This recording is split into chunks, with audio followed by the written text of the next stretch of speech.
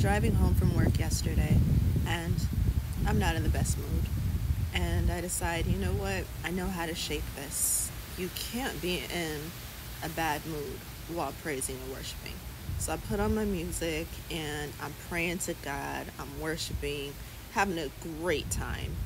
And I'm in Florida and it's summertime, so that means it's gonna rain. It's hurricane season right now. And it rains every day. I don't mind the rain, but I don't like driving in it, especially when it's like a lot of rain. So I'm driving, and as the rain starts falling, at first it's a few drops here and there, and then it's just full on storm. People in front of me are putting on their hazards because we're on the freeway, and you know, you got to drive as safely and as slowly as possible in a storm like this, right? What I'm used to doing is getting super quiet and focusing on the road while I'm driving in a storm. So I stop praying, stop worshiping, I turn my music completely off. It's just me, the rain, just driving. And I hear a voice. And the voice says, But why'd you stop praying?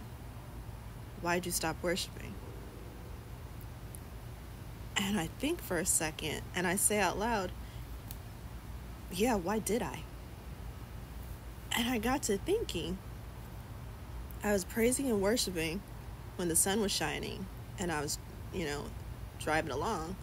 But the second the storm came, I focused on the storm and I stopped praying and I stopped worshiping. I turned the music off. I got completely silent. So then I went back to what I was doing. I turned my music back up. I went back to praying and worshiping.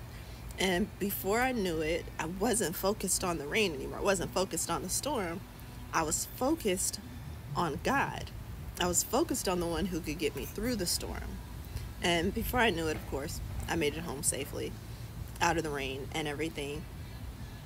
But the revelation I got was that's exactly what I tend to do during life storms, during those hard times, during those tests. I kind of just clam up and I get real quiet and I'm in my head and I continue to focus on the problem, to focus on the thing that's bothering me instead of doing what I'm supposed to do, instead of praising God and worshiping Him through the storm because He's the one that's going to get me through the storm. Does that make sense? I had to get on here and share this revelation with you just because it was it's like it's common sense. I feel like it's supposed to be common sense, but for me, even as a Christian, it's like some things don't really come to me so quickly because I feel like I have to get everything figured out. Like on my way home, I'm feeling like I'm the one that has to get me home. I'm the one that has to focus on the road, get me home safely out of the storm, just like the storms of life. I feel like, okay, I need to figure this out. What am I going to do to get out of the situation, get out of this problem? And really, I'm supposed to just rest in God. I'm supposed to focus on God.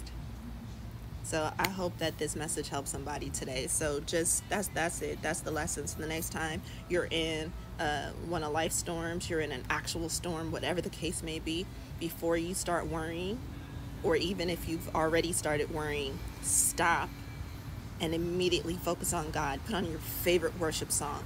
Just or or if you don't have music around, just start singing to God. Just give it to God. Just start praising Him. Just go into prayer and just thank Him. Thank Him for getting you out of the storm. You're still in the storm, doesn't matter. Thank Him for getting you out of the storm. And before you know it, you'll be out of the storm.